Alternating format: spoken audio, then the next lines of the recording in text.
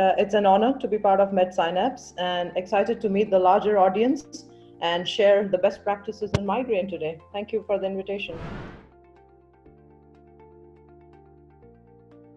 So, migraine has always been there with us from the centuries. In fact, if you look at the word migraine itself means or that has essentially come out from 400 BC. So, migraine has never left us, and migraine is not going to leave us anytime soon. So, it is a disease which is very common. The problem is it is often underdiagnosed. Now, when we talk about the burden, essentially the burden of the disease, we can roughly say about one in seven people in the globe, again, I'll repeat, one in seven people in the globe suffer from migraine. And migraine is essentially highly disabling. The message is very clear it is not just any headache, which is to be understood. Thanks. So, headache is one of the features and criteria for migraine. Essentially, as per the definition by ICHD or headache uh, disease criteria, you need two important uh, points when you want to call it as a migraine. One of them is, of course, the hemicranial headache, but the other one has to be either photophobia, where there is light sensitivity, or phonophobia, where there is sound sensitivity, or there is nausea or vomiting and it is preceded by something called aura for people with migraine and aura. So there are two essentially types migraine without aura and migraine with aura. So you do need additionally one of the features along with the hemicranial or half-sided headache to call it as a migraine. Now, essentially what happens is that patients do not understand this distinction between whether it is just any headache or it is a migraine. And that is the reason why most people do not go to the specialist. Most people often keep taking over the counter painkillers or pain medications, essentially to treat the headache, while they don't understand that these additional features, where they have an aura or there is photophobia or phonophobia, is essentially migraine. And that is our clinical uh, criteria to differentiate them in our clinics. Now, we are in the 21st century. Despite that, there is no biological marker for migraine. So I cannot say that, hey, let's do this test and we can diagnose migraine, or let's do this radiology investigations and we have migraine, which is not yet available. So, which is why clinical history taking is essentially very important. And we do go through these same criteria as we have a dialogue with the patient. So, it's a clinical diagnosis, very much an office diagnosis, and merely by the dialogue with the patient. So basically, once we have this diagnosis through the dialogue, and then obviously you rule out all the other uh, important reasons which may be contributing to the headache, which is also part of the final diagnostic criteria. Once you do that, you have to differentiate whether it's an episodic migraine, which means it's coming less than 15 days in the whole month, or it is chronic migraine where it is coming more than 15 days in the month. Now, it is very important for the patients to give us this diary, and we at RAK Hospital have electronic diaries which we give to the patient so that we can record at the back end what is the number of the headache days, etc. So, migraine can never be a one off diagnosis. We have to have a couple of dialogues with the patient. We see their records, we see the pattern of their headaches, and once we are very clear whether it's an episodic migraine, it's a chronic migraine, are there any analgesic overuse? Because most of the times, patients just go and take the OTC medications like paracetamol, uh, brufen, etc. and all. So we have to also watch the number of the times they have been taking these medications. Once we are sure that there's no overuse or analgesic abuse, which means essentially for all those 15 days, the patient have been popping the pill, we are certain that it's either an episodic migraine or a chronic migraine, and that's how we start treating them. Now, there are two parts to the treatment. One is acute when the patient gets the headache what do you give them and second is prophylaxis which means you don't want the patient to get the headache again. So both the strategies are well crafted and designed based on the patient demographics based on the patient's need etc so i'll tell all the options which are available for us for acute and all the options which are available for us at this time for the chronic migraines. And then obviously the newer agents which have just kicked in to help the chronic migraine or episodic migraine patients. So, acute therapy. Acute therapy is essentially abortive therapy, which means you have to just abort the patient with the headache. The headache has to be aborted. And there are triptans available for that. There are NSAIDs available for that. Or there are painkillers or analgesics available for that. I use in my clinical practice uh, triptans quite often and they have a fantastic result particularly if it's a classical migraine patients do very well with triptans it's one of the serotonin receptor agents which is exceedingly well for treatment of acute uh, headaches and migraine of, of course, uh, there are uh, agents which, other than uh, triptans plus NSAIDs, are also used in the acute phase. And when we come to the chronic phase, we have a whole bunch of prophylactic agents available for us. There is Depakine available, there's topiramate, there is uh, Botox for the chronic migraine, then there is the CGRP antagonist, there is Inderal or propranolol, a very common agent. So we generally choose one of the agents for the prophylaxis based on the patient profile. For example, a young patient who has issues with the sleep, who is not having any other side effects, etc. Amitriptyline is a very uh, well-proven agent for treatment of migraine, where a little bit of sleep is also as a side effect of it, which can be utilized for this purpose. Then there are young patients who can be provided with propranolol, who have a little bit of anxiety. So parallelly, you also tackle the anxiety along with the headaches. So generally, and if there's mood stabilization required, you choose Depakine. So you choose one of the agents depending on the history which you elicit from the patient and generally one of the agent is enough you start them and then you observe their headache frequencies and then you reassess their headache diaries and see what is the reduction in the number of the days now these new set of uh, therapies which are now available which is called the cgrp antagonist which i will talk about a little later possibly in the in the session but what is more important is that is also one of the options now that we have which we can take from the bucket of these prophylactic agents to be offered to our patients.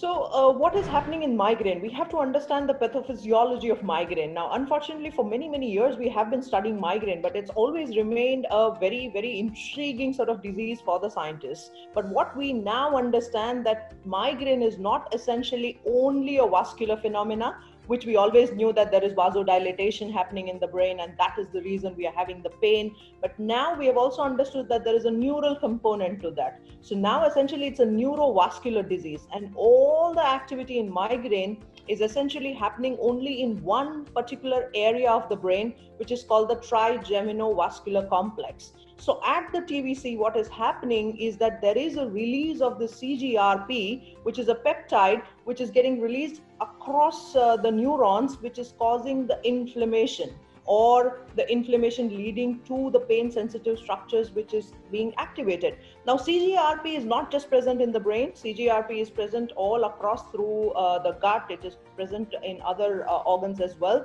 Now, what is CGRP doing is that it is a pain inducing uh, peptide. It is good to a certain extent because you need pain, but in migraine, what is happening is it is an axis. And any activity which is in axis, which is not getting aborted beyond the time, is leading to the problem, uh, particularly the headache, which goes on the aura which happens etc the aura is essentially the cortical spreading depression which means that initially there is a cutoff of the blood supply or there is a cortical spreading depression which is then followed by vasodilatation mediated not just by cgrp there are many peptides but cgrp is one of the main molecules or the culprit molecules which is inducing the pain and essentially all the cgrp antagonists what they do is either they just block the CGRP receptor, they fight with it in the CL uh, RAMP receptors at the TVC, or they essentially just block the CGRP actions, or they just sort of uh, compete with CGRP. So many, many ways in the way where you can block the CGRP. And that is what the current CGRP antagonist therapy armamentarium is all about.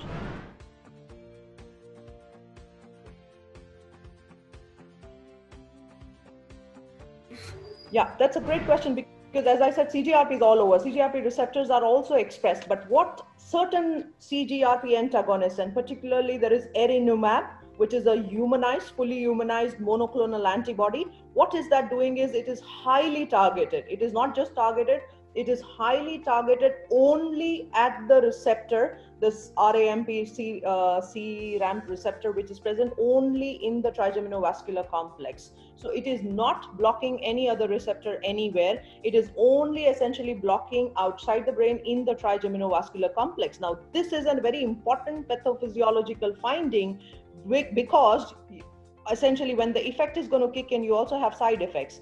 And if no other receptor is getting blocked nowhere else in the body there is effect on this receptor anywhere you don't get the side effects as many. So we see very few uh, common side effects with uh, the erenumab particularly the fully humanized monoclonal antibody. Now there is also galcanezumab which is available now which is a cgrp antagonist which is not a CGRP receptor antagonist, but it's a CGRP molecule antagonist, which may have essentially the same function. Evidently, the endpoint is the same, but there is likelihood of some side effects getting or kicked in more than the erenumab. Now, there are two more molecules which are still underway eptinezumab and fremezumab.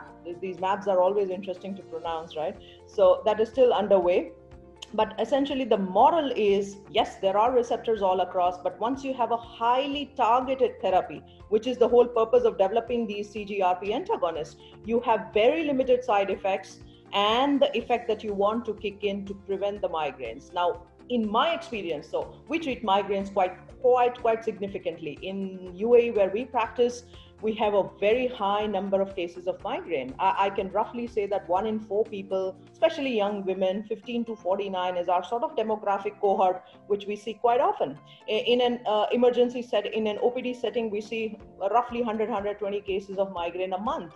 Now, for all our cases, we do keep an electronic diary, and essentially the uh, main sort of our, our focus is to offer them something where the side effects are limited, but we get the sort of the best of the effect.